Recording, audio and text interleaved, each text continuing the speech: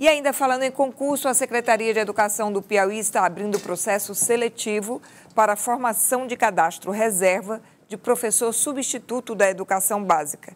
As inscrições poderão ser feitas a partir das 9 horas do dia 29 de dezembro até o dia 14 de janeiro no site do Núcleo de Concursos de Promoção e Eventos, o NUCEP. O processo tem validade de um ano, podendo ser prorrogado por mais um ano.